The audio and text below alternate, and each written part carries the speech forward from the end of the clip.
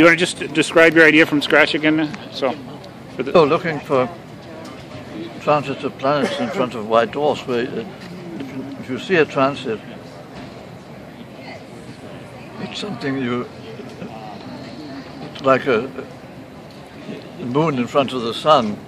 Yeah. It's sort of like a total or partial eclipse of the sun. So the light is changing by a big amount, and it's quite different from the normal transits of normal stars, which are just a, one part in 10,000 of the light.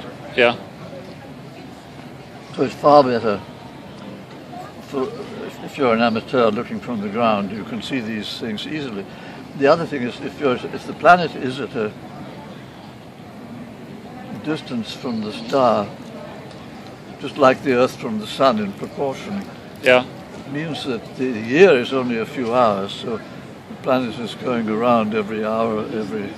so you'd see it more often. Hours. You see it far more often, and so you can only need to look for a couple of nights, and either you see it or you don't. Yeah. And so you could actually search 100 white dwarfs a year or something like that.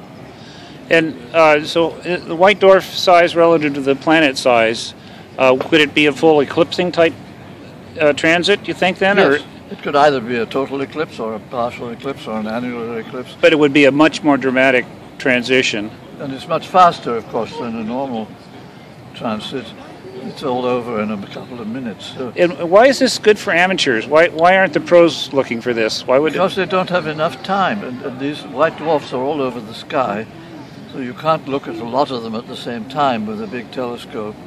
Okay. You have, you have to d- deal with them one at a time. So it means you need one telescope for a couple of nights to to, to look for one at one white dwarf that's something that professionals can't do. Yeah. There's just there aren't enough big telescopes, but there are enough little telescopes in the hands of amateurs. Yeah.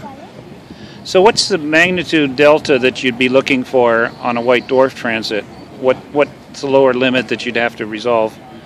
Well, it would be a, a, depending on whether it's total or partial. Of course, if it's total, then the thing goes essentially it disappears for a minute or two, or two and, and it comes up. So again. it's 100 percent. It yeah. could be 100 percent. It could be 25 percent. But anyway, I mean, a, a, magnitude would be sort of reasonable. Yeah.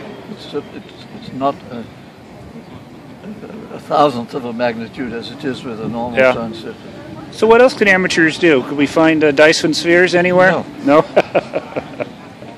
no, there are lots of good things you can do, but The other thing that you can do, of course, if you're looking at white dwarfs anyway, looking for rapid pulsations and, and all the sort of normal things like sunspots uh, likely to occur on white dwarfs much faster. So, so a typical time scale for sunspot is say a month on, on a white dwarf, it would be probably a couple of hours. Really?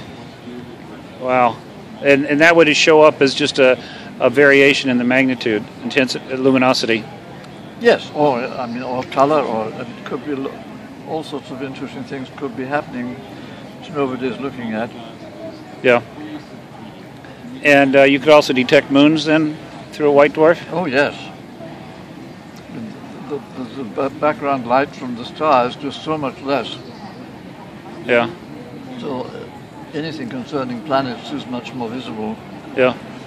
Well, I think amateurs would love to come up with ideas that they can do that the pros can't do. I mean, you know, they've kind of the pros have taken over the uh, asteroid hunting and everything else like that. But what other areas are fertile for amateur discovery of good science?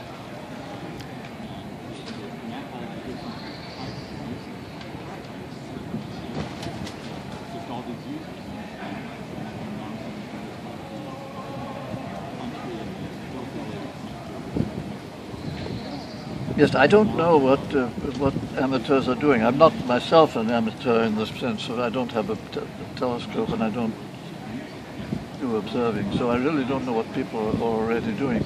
Yeah. I mean, you can certainly. The, the standard things amateurs do is hunting for comets. Which, yeah. Which is, yeah. Which very good. Yeah. Very good at and and. Uh, Yeah. Microlensing, there's there's a good. I know there's a good collaboration in New Zealand where amateurs and professionals work together looking at microlensing, Yeah. and that's um, Yeah. that's something which is really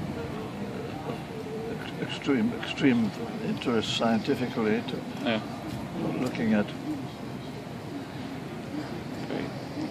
Well, any other words of wisdom for amateur scientists before I No, I think no no wisdom here.